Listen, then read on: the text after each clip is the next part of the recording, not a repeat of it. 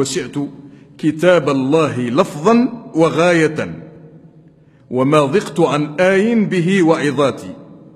فكيف أضيق اليوم عن وصف آلة وتنسيق أسماء لمخترعاتي؟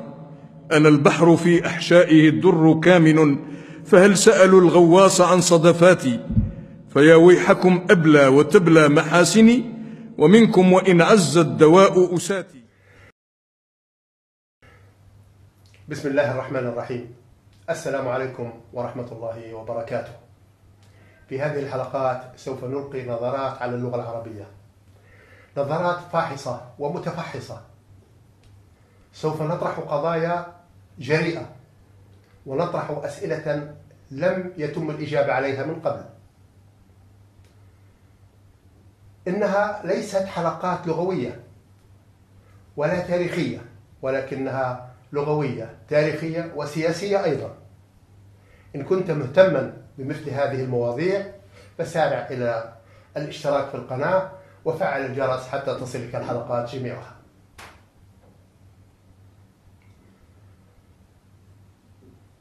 هل اللغة العربية هي أول لغة ظهرت على وجه الأرض؟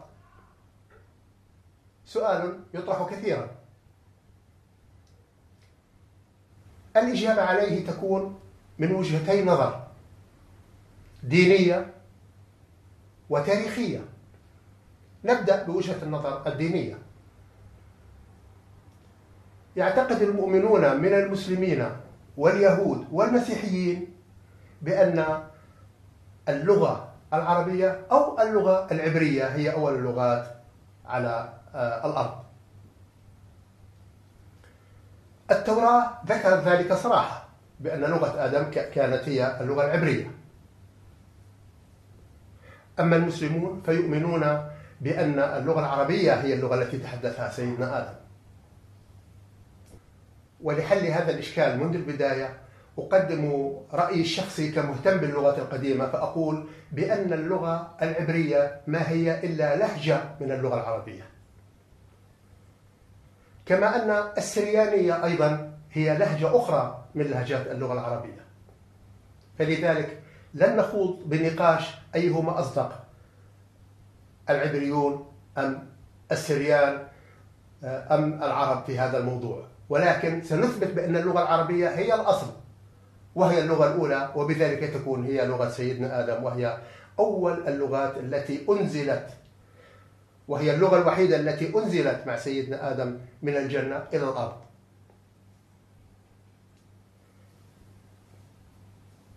هذا الرأي سوف نناقشه من الناحية الإسلامية فقط.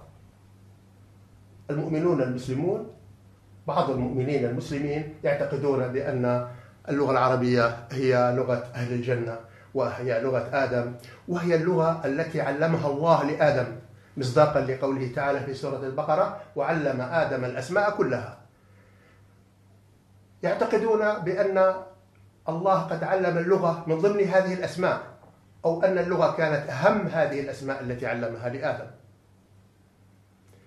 وبعد أن أنزل آدم من الجنة نزلت معه هذه اللغة فهي لذلك أم كل اللغات كما أنها أول لغة على ظهر هذه الأرض. واجعلنا هداة مهتدين غير ضالين ولا مضلين برحمتك يا أرحم الراحمين. اللغة العربية هي أقدم لغة في العالم. الله أكبر هي أقدم لغة بشرية. سبحان الله. وهي لغة أهل الجنة. وهي لغة أبينا آدم عليه الصلاة والسلام. ويدل على أنها لغة أبينا آدم. أنه آه عليه السلام لما نفخ الله عز وجل فيه من روحه أمره أن يمر على ملك من الملائكة. فقال انظر ما يحيونك به فإنها تحيتك وتحية ذريتك. فلما مر عليهم قالوا السلام عليكم. فأمره الله عز وجل يرد عليهم وعليكم السلام ورحمة الله وبركاته. سبحان الله. هذه لغة عربية صريحة. ما قال بالهاي أو هلو أو غيرها من اللغات اللغة الإنجليزية أو غيرها من اللغات. السلام عليكم ورحمة الله وبركاته. تحية أهل الجنة. تحيتهم يوم يلقونه سلام. سلام. سبحان الله يا أخي. ولكن هذا الرأي يجد من يعارضه حتى من المسلمين من من كثير من الفقهاء المسلمين الذين ينكرون أن تكون اللغة العربية هي لغة أهل الجنة. لماذا؟ لأن ذلك لم يرد لا بقرآن ولا في سنة. وهم يقولون بأن ذلك مجرد ضرب آه، من الاجتهاد. يقول هل كلام أهل الجنة فقط اللغة العربية أول شيء من قال لك أن اللغة العربية هي كلام أهل الجنة حتى يصير فقط. ومن قال لك هالكلام هذا؟ يعني ما في شيء ثابت حقيقة أن كلام أهل الجنة اللغة العربية. أنتم مستانسين ليش إنكم عرب؟ هنا ما في شيء ثابت. ما في شيء ثابت أن أهل الجنة يتكلمون اللغة العربية. لكن جاءت في أحاديث ضعيفة جدا فلا يثبت من هذا شيء. والعلم عند الله تبارك وتعالى. ولكن ذكر بعض أهل العلم يعني من السلف رحمه الله تبارك وتعالى أن هذا الظاهر أن كلام أهل الجنة هي اللغة العربية لكن ما في شيء ثابت أبدا في هذا الأمر. لذلك هذا طالما أنه أمر غيبي نقول الله أعلم ولا نخوض في هذا. أنت دش الجنة وإن شاء الله راح تتكلم عدل. يعني قضية إذا خايف مثلا تبي تتعلم من الحين لغة أهل الجنة تبي تدش كورسات يعني في لغة أهل الجنة تطمن. إن شاء الله أنك من أهلها وراح تعرف تحكي عدل يعني ما تحتاج لغة الإشارة حتى. إن شاء الله تعالى. هذا من وجهة النظر الدينية. أما وجهة النظر التاريخية فقد ظهرت أول إشارة إلى اللغة العربية مكتوبة في نقش في جنوب سوريا. يقال أن عمره حوالي ستة آلاف سنة. مكتوب. والكتابة أحدث من الكلام أحدث من اللغة. إذا كانت الكتابة قد ظهرت قبل ستة ألاف سنة فلا شك أن اللغة قد ظهرت قبل ذلك بكثير. ولكن هناك من الآثاريين والمؤرخين من ينكر أن تكون هذه اللغة هي اللغة العربية. ويقولون أنها لغة أخرى غير اللغة العربية. وعلى كل حال سواء كانت اللغة العربية هي لغة آدم وهي أول لغة آه، على وجه الأرض أو لم تكن سواء كانت الآثار التي عمرها ستة آلاف سنة باللغة العربية أو لم تكن فإن الأكيد أن اللغة العربية قد تم التحدث بها وباستمرار منذ ألفي سنة على الأقل. منذ ألفي سنة وصلتنا اللغة العربية عبر أشعار وأقاصيص من الخطابة ونقوش على الصخور وكانت لغة كاملة فصيحة. فمتى تطورت إلى أن وصلت إلى هذه اللغة؟ لا شك أن تطورها سيكون قد أخذ وقتا طويلا.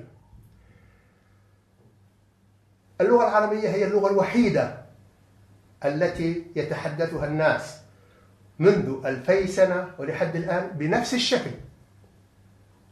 يقال أن هناك لغات أخرى تعود إلى أقدم من ذلك مثل اللغة التاميلية واللغة السنسكريتية.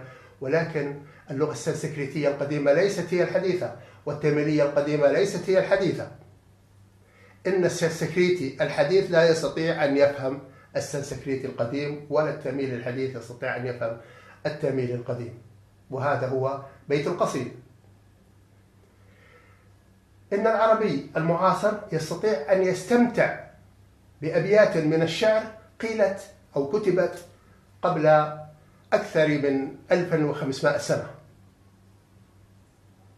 لننظر إلى شعر امرؤ القيس أول أمير للشعراء حينما قتل والده وحب أن ينتقم وكان والده ملكا وحب أن ينتقم لوالده ويسترجع عرش عرش عرشه حب أن يستنجد بقيصر. فذهب هو وصديق له إلى الطريق ليذهبا إلى قيصر ويطلبا معونته وحينما خرجا من بلاد العرب ودخلا في بلاد الروم بكى صاحبه من الشوق إلى بلاده. فخاطبه امرؤ القيس قائلا بكى صاحبي لما رأى الدرب دونه وأيقن أنا لاحقان بقيصرا فقلت له لا تبكي عينك إنما نحاول ملكا أو نموت فنعذرا كلمات عادية يفهمها حتى العامي من العرب الحديثين هذه هي الفروقات الواضحة بين اللغة العربية وغيرها من اللغات. ليس امرؤ القيس وحده. هناك عنترة مثلا. عنترة يتغزل بمحبوبته وهو في أتون المعركة. فيقول ولقد ذكرتك والرماح نواهل مني وبيض الهند تقطر من دمي. فوددت تقبيل السيوف لأنها لمعت كبارق ثغرك المتبسم. من لا يفهم هذه الأبيات؟ من لا يفهم هذه الكلمات؟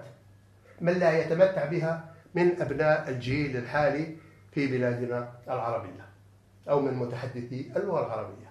لو أخذنا على سبيل المثال الشاعر الإنجليزي الشهير ويليام شكسبير الذي عاش قبل أقل من 500 سنة بقليل.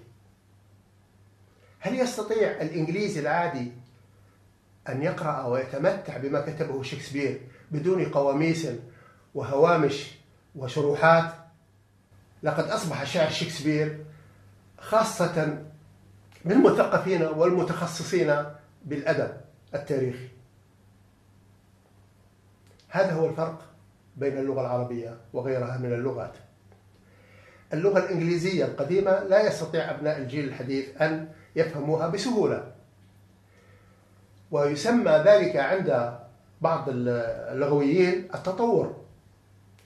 وهو بالفعل تطور ولكن هذا التطور يقطع الصلة بين الحاضر والماضي في نفس اللغة وقد يؤدي إلى موتها وولادة لغة جديدة. وذلك ما حدث بالنسبة للغة اللاتينية التي ماتت وأنجبت الإسبانية والفرنسية والإيطالية والرومانية وغيرها من اللغات.